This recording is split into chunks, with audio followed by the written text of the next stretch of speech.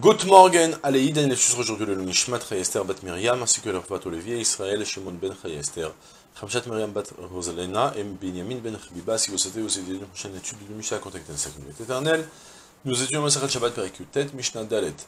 Mishe Ayulo Shnei Tinokot, Echad Lamul Achar Shabbat, Vechad Lamul Beshabbat. ושכח ומל את של אחר השבת בשבת חייב. אחד למול בערב שבת ואחד למול בשבת, ושכח ומל את של ערב שבת בשבת, רבי אליעזר מחייב חטאת, ורבי יהושע פוטר. Euh, on commence à traduire directement. Misha Yolo Non, peut-être une petite introduction d'abord. On continue bien sûr les de Brit Mila. Vous savez bien que le Brit Mila repousse le Shabbat, c'est-à-dire si on a un Brit Mila, un enfant qui est né un Shabbat, le huitième jour va tomber à Shabbat, on a le droit de faire le Brit Mila à Shabbat. Par contre, si l'enfant naît avant Shabbat, le vendredi. Et donc le Brit Mila devait être le vendredi. On a eu un empêchement, ça c'est pas réalisé. Et on se retrouve maintenant le Shabbat, on a envie de faire le Brit Mila pendant Shabbat. Eh bien on ne pourra pas faire le Brit Mila pendant le Shabbat. Pourquoi? Parce que la Torah, elle a dit que le Brit Mila repousse le Shabbat que si c'est fait le jour même, le Bayom Hashmini, comme ce qu'on a déjà évoqué. Et de même aussi, il va sans dire que si un enfant naît le dimanche, et que le huitième jour donc, va tomber le dimanche. On ne pourra strictement pas faire le Brit Mila pendant le Shabbat, parce que d'abord le Brit Mila qu'on fait avant l'heure, c'est pas un bon Brit Mila, et qu'en plus de ça, plus forte on ne pourra même pas repousser le Shabbat pour faire un tel Brit Mila. Et c'est là le sujet de la Mishnah, que Misha Yolo Tinokot, celui qui avait devant lui deux Tinokot, il avait deux bébés devant lui, Echad Lamoul Achara Shabbat, Echad Lamoul Be Shabbat. Un qui devait à qui il devait faire le Brit Mila après le Shabbat, donc le dimanche, et un qui devait faire le Shabbat. Ça peut être fréquent même avec des jumeaux, vous savez.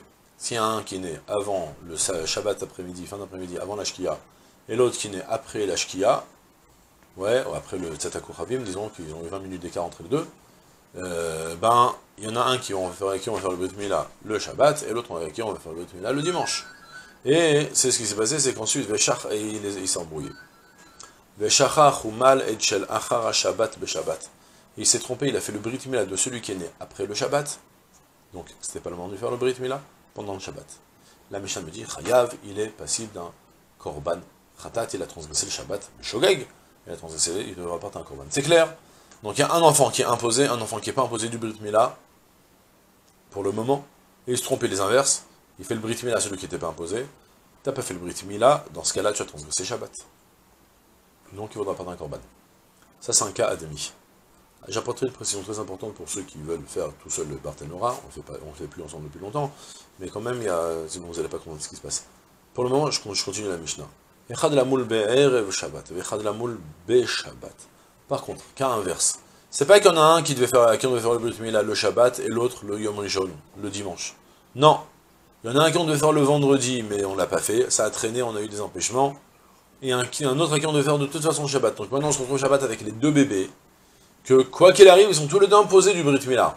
Sauf qu'il y en a un qui a le droit de faire le Brit Mila à Shabbat, et l'autre qui n'a pas le droit de le faire à Shabbat. D'accord? La Mishnah me dit comme ça, Shabbat, un qui devait à qui on devait faire le Brit Mila la veille de Shabbat, donc le vendredi, et Shabbat, et à l'autre à qui on devait faire le Brit Mila pendant Shabbat. Et Veshachach, et il s'est trompé, ou Maletchel Erev Shabbat il a fait le Brit Mila de celui qui devait avoir le Brit Mila le vendredi, il le fait pendant le Shabbat. Rabbi Mechayev Khatat. Rabbi te dit, bon ben, peu importe, c'est le même principe. Tu es toujours Chayev Khatat, parce que tu as fait un Brit Mila alors que tu n'en étais pas, tu n'avais pas le droit de reporter le Shabbat. D'accord? Donc tu transgresses l'interdit du Shabbat. Même si tu as fait une mitzvah, c'est pas, pas lié. D'accord? Ça c'est la vie de Rabbi Rabbi Yoshua Poter.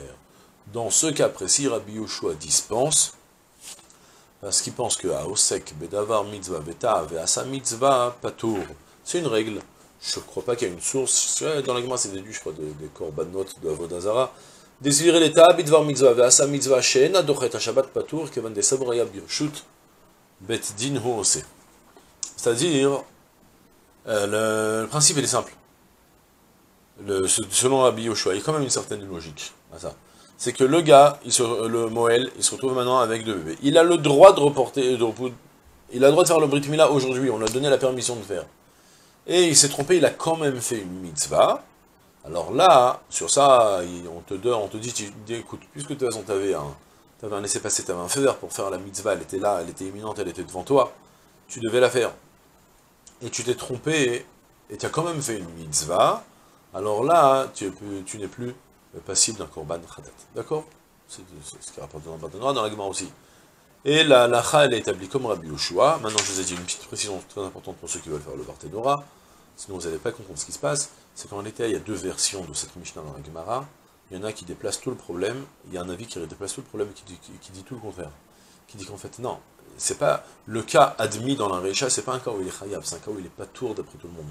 C'est précisément le cas où il avait une mila le vendredi et une mila le Shabbat, que d'après tous les avis, s'il a fait le Shabbat, il sera dispensé. Et la discussion entre Rabbi Eliezer et Rabbi Yoshua, elle sera dans le cas où il y avait une Brit pour le Shabbat et une Brit pour le dimanche, et qui s'est inversé, qu'il a fait. Est-ce que malgré tout on dit que euh, le fait qu'il soit Assouk Midvar Mitzvah, ça le dispense? C'était vraiment entre parenthèses. Si toutefois vous voulez lire le Barthénora, puisque le Barthénora il commence, on dit c'est il y a une, qui rapporte qu'il y a une marloquette, mais que les rabbinim du Barthénora lui ont dit d'expliquer la Mishnah comme ce qu'elle a rapporté devant nous, comme ce qu'on a expliqué. Et voilà, c'est tout pour aujourd'hui, c'est une pleine de Kol Salut.